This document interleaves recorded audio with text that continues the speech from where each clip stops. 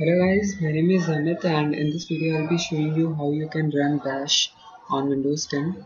So uh, to do that you need to be on Insider Ring and uh, running on build 14316 or later.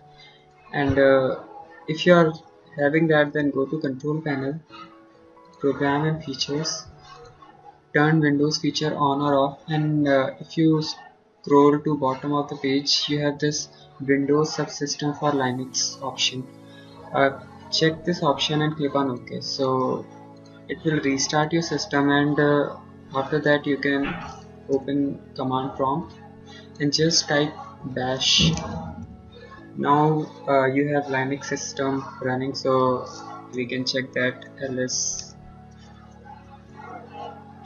Uh, all those commands that you are familiar with on Linux now are going to run on Windows system.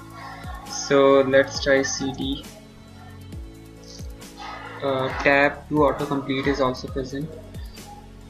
Uh, let's try to compile a program using GCC so I have already made a so I have a C program.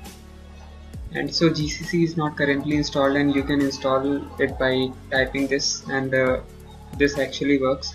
So let's try if I have Python so as you can see Python is pre-installed like uh, it is on Linux system.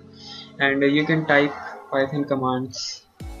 So uh, that's it.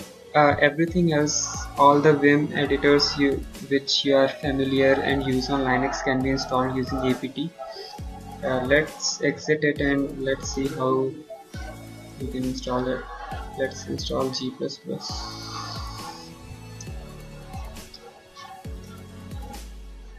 so now you can okay.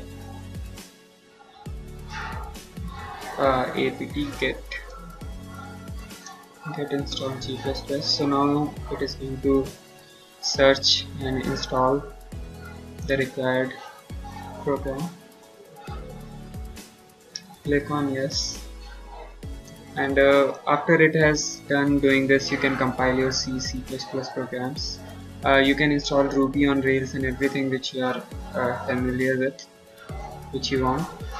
And uh, that's it for this video. This is how you can run linux terminal on windows 10 thank you for watching. Bye